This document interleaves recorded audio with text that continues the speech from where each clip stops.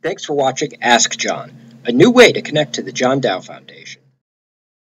The first question you ask is that uh, how were we chosen in the in you know in the refugee camp to come to United States? How were we selected? Which means you are referring to the the lost boys who came with me to United States.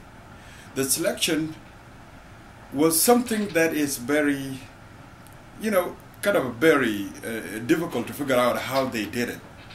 What they did first, they were sent to South Sudan, which means I'm talking about Americans that were sent to, uh, to, to Kenya, to the refugee camp in Kakuma, Kenya. And what they did, they talked to UNHCR, get the name of the lost boys, and then they, they went through the names.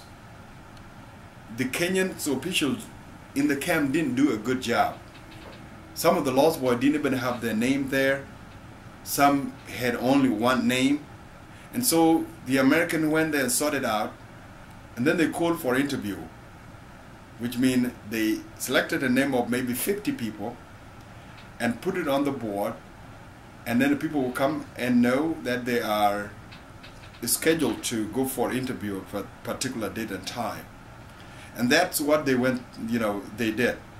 So we were all, you know, called 10 by 10, so 50 by 50 people. After interviews were done, we were then put through what is called medical checkup. You are checked from all these major diseases.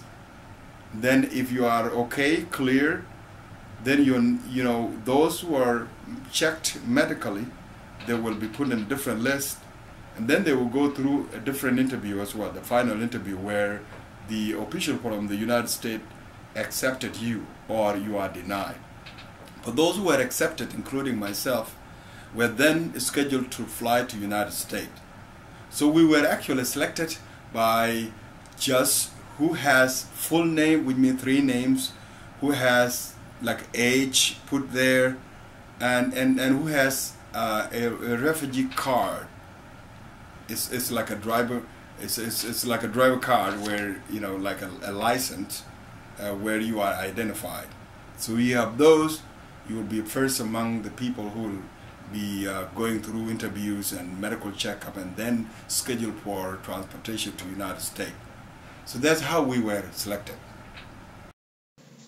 Have a question for John? Submit it in the comments or email it to info at johndaufoundation.org you can also connect with us on Facebook and on Twitter.